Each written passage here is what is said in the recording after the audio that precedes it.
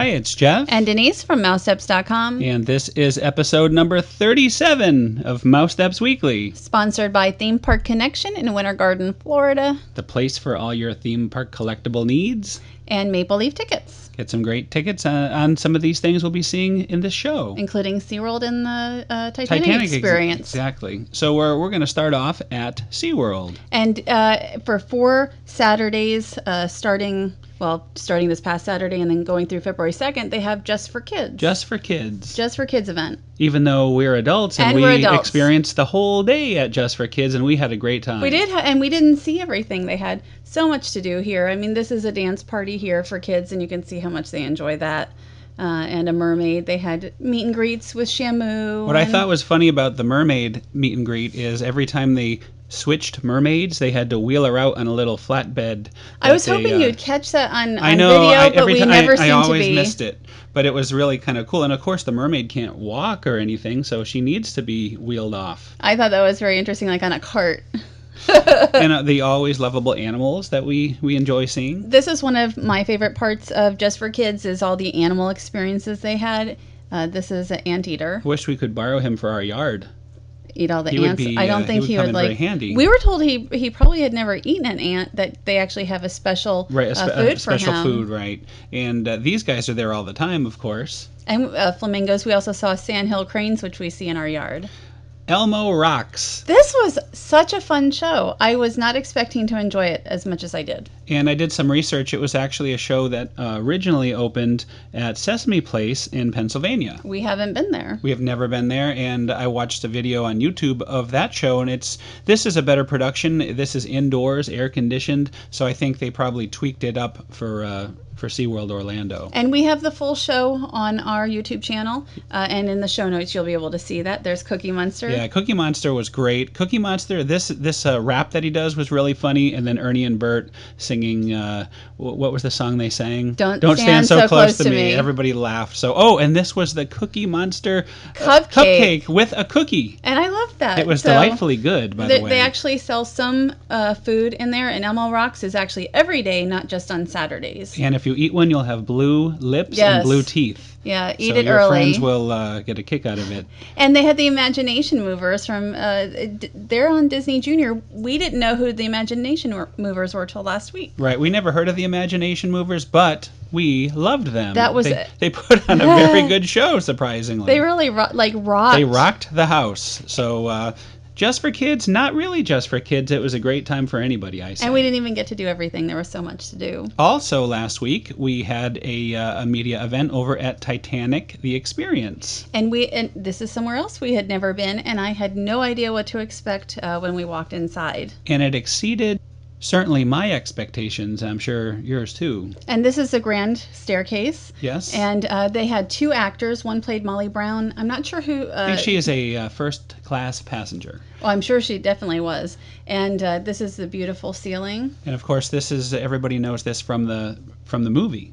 It just it, and it looks just like the movie. But and, it looks like the real one too because they had pictures right. of uh, what the real one is, and it's very very accurate. But I, I thoroughly enjoyed the uh, the actors that really made it for me. It, it was not an, it's not a museum. There are artifacts, there are replicas, but the actors are what really made it. But the reason we were there is there's a limited time Jewels of Titanic exhibit happening now. It actually started last week. And that goes till, uh, I believe, March 12th. Mm-hmm. And uh, these are actual uh, items brought up from the, not on the Titanic, but outside the Titanic, there was a bag and they call it the debris field, is where all this was uh, brought up from. They didn't take anything from the ship. The company that now owns the uh, Titanic exhibit is called RMS Titanic Inc., and they do a lot of salvaging uh, from that field. And right here, that necklace is actually a, and it's funny, uh, I don't want to say funny, but uh, ironic, a Lucky Charm necklace mm. and with three Lucky Charms on it. Well, hopefully it was lucky and the owner survived and it just fell away yeah, the... there's no way to know. I don't know if anybody will ever know where uh, most of these items came from. But I guess that's what makes it interesting. It's real. This is real history. Right. Something a little different we're not quite used to. real, not all real. the time. so, uh, and these are just some photos showing some of the uh, the rest of the exhibit. This is a first class uh, stateroom. And I believe this was Cafe Parisien uh, with other uh, artifacts and replica items. Another shot at. of the uh, grand staircase. And this is a boarding pass everybody gets at the beginning of the tour. And each boarding pass has the name of a passenger who sailed, and you find out at the end uh, on a long list whether you survived or not. And I thought that was very, very moving.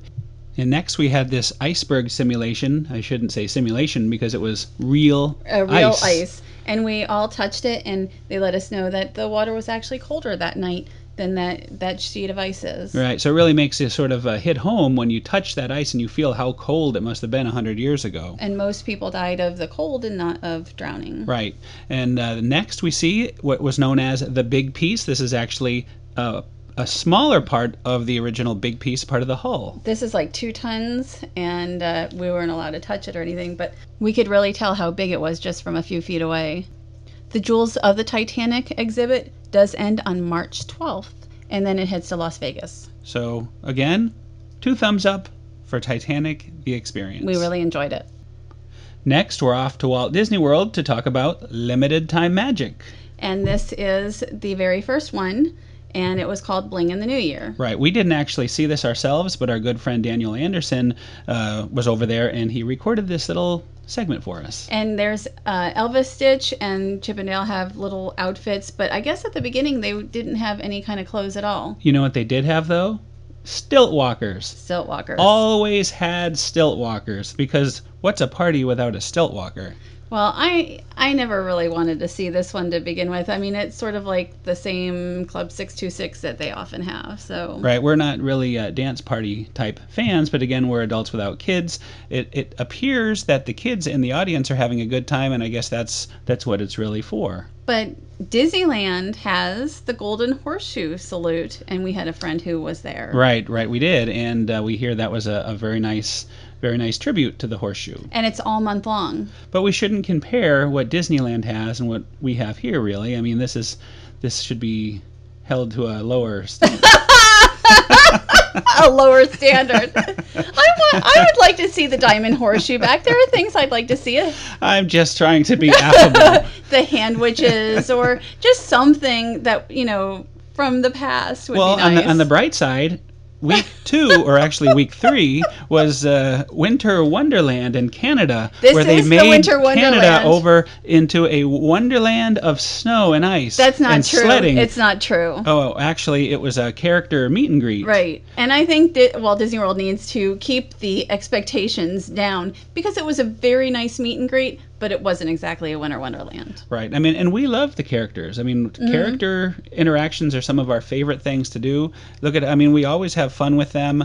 Um, but you could see that what you see right here. That that's is the. Winter- that's, Wonderland. That is that is hundred percent it. We and there asked. was a, a little bit of flurries. I thought this was the beginning of the event. Right. We But thought this was was, the only uh, thing. just going to be what you saw outside to draw you into the event that would be inside where you have the snow making and the slush and stuff like that. So I guess we went in with uh, with t- we bought into too much uh, expectation. I thought maybe it would be more like, you know, when Canada or any of the other countries celebrates a birthday and then you have all the different kinds of activities and such. So that's more what I thought.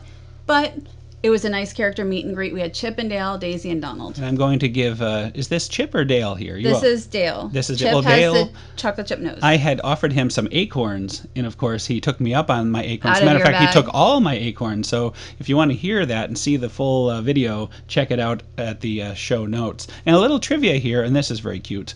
A little trivia Chip and Dale are wearing the exact outfits you'll see them in the Mickey's Once Upon a Christmas Time parade. and we've seen Donald and Daisy in those outfits, but they're not really outfits that you'll see normally out and about in the park. Right. Well, we saw Donald uh, about three weeks ago at, At Fort, Fort Wilderness, on Christmas Eve in that uh, that exact outfit right there. I don't know if we see if we saw Daisy in that outfit before. It, wa- you know what? It was cute. It was a cute, uh, a cute meet and greet. yeah, it was definitely worth going to, and we look forward next week. I think it is It Long Long Lost Lost Friends Friends. Week, from what we hear. I hope they're really long lost. And also, while at Epcot yesterday, we went to the France Pavilion. We were heading to La Halle Boulangerie Patisserie, I believe that's how you call it, or the expanded France Bakery. Yes, yes, in an all new location. And we were very impressed with the way it looked. It reminds me a little bit of a train station in France. This location is actually by the gift shop at the exit of the France movie. Right, you could just walk in between the two. I think the gift shop's a little smaller, and the old uh, Boulangerie Patisserie location is uh, being renovated into a ice cream shop. Right at the moment is now closed. And we really enjoy the uh, decor in here. I think for me, the decor was almost better than anything else, including the food. You told me before it was very authentic, like really being at a, a bakery in France. Well, I don't. I, for me, it reminds me more of a uh, almost like a train station. The the ceiling, and I haven't been to a bakery that looks like this. I've been to a bakery that looks like the other, you know, the old location. Um, but we're going to have to go to France, and we'll go look for one. Another new feature, though, is the video screens with the current price. and the current items so they can be swapped out uh, much easier and it's a, a more extended menu as well And it's interesting with the drink menu, I see the Kronenbourg 1664, and that's that beer I had at the Be Our Guest restaurant, And which you I really liked it? liked. Yes. and I, maybe they'll have them at Publix we should go look But now the star of the whole show, the food. the star although the, to me the desserts are actually the star Oh, I agree. I agree. and uh, there's sandwiches and salads and desserts and quiches so there's so much to choose from Yeah, and we, we had a variety. We'll get to that at the end of, uh, of what we had for lunch when we were there. and uh, there's just two of us so it's not like we could sample you know 100 different things we can't afford to sample 100 Well, look, different it looks like the uh, gray stuff, but it's the brown stuff.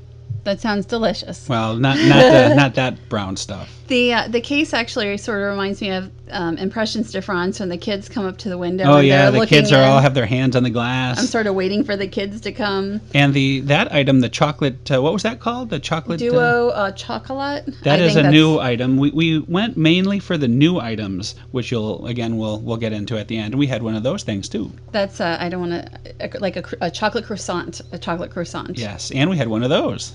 And uh, that was a framboise mousse uh, cake. Yes. it's hard enough just to say what they are. Keeping me on my toes here. That is right. That is right. And this I thought was very cool. It's how they put the brulee in the creme brulee. I think. Is that it? I believe have no. that's what it is. I, I don't eat a lot of creme brulee, and I've never made it, so I'm not ex- I think it's much- very interesting, though. I, I thought I it would be totally flame different. The, flame the top, right? That's I- what I, it guess is. I guess that's true. I don't know.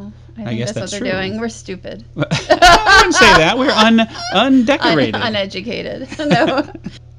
And this is the dining area. It not only has tables and chairs, but also standing uh, tables as well. And there's also two unisex bathrooms back there. The only uh, casual service uh, bathrooms in this uh, in this pavilion. Yeah, so that's a nice little bonus It as is well. a nice bonus.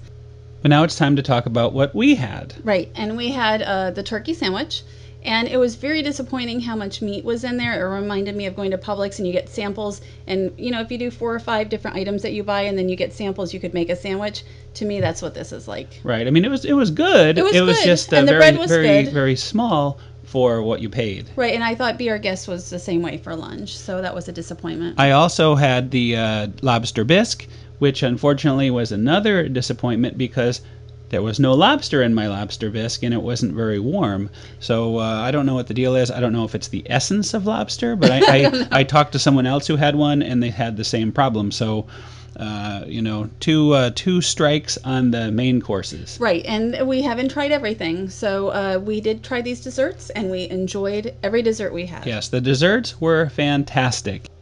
The Duo uh, chocolate uh, has both a, a white and a chocolate mousse in it, a dark chocolate, but I thought it tasted more like dark chocolate. Right, and the raspberry was very sweet and it had real raspberries on the top. Very So- yummy. I thought they were all good. I think France has always excelled at desserts. And we also had the Baguette. Baguette. We brought it home. That's why there's a potato next to it.